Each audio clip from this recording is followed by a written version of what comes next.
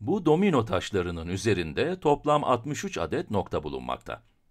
Bunların hepsini saymışlar ve 63 olduğunu söylüyorlar. Bence bizim tekrardan saymamıza gerek yok. Daha sonra ne demişler bakalım? Bu sayı 600'lü bir zardaki noktalardan 42 fazladır. Çizelim.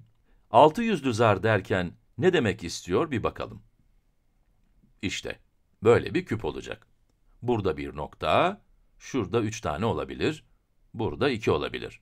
Ve buradaki bütün noktaları toplarsanız, sadece gördüklerinizi değil, diğer taraftakileri de toplarsanız, işte o sayı 600'lü bir zardaki toplam nokta sayısıdır. Soruda ne diyor? Bu domino taşlarındaki bütün noktaların toplam sayısı 63. Tamam. Ve bu sayı 600'lü bir zardaki toplam noktaların sayısından 42 fazlaymış. Şimdi gelin 600'lü zarda kaç tane nokta var onu bulalım. İlk önce düşünelim. Bize ne soruyorlar? Cevap, domino taşlarındaki noktalardan fazla mı olmalı, yoksa az mı olmalı? Ee, burada fazla diyor diyebilirsiniz. 42 fazla diyorsa öyle olmalı diye düşünebilirsiniz. Ama çok dikkatli olmalısınız. Soruyu yavaşça okuyup, iyice anladığınıza mutlaka emin olun.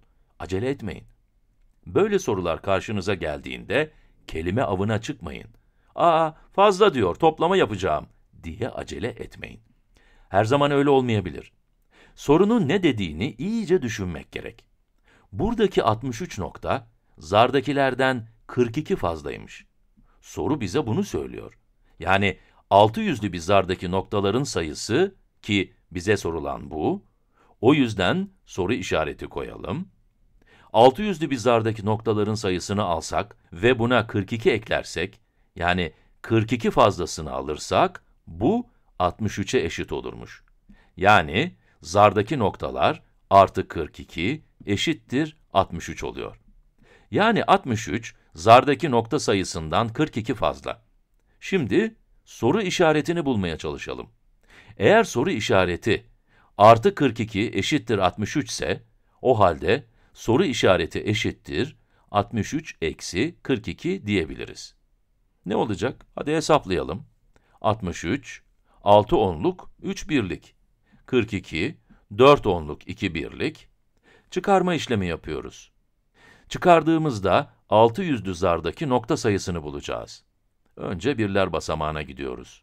3 birlik, eksi 2 birlik, 1 birlik kalır. Yani 1. 6 onluk, eksi 4 onluk, 2 onluk kalır. Sonucumuz 21. Yani 600'lü bir zarda toplam 21 tane benek varmış.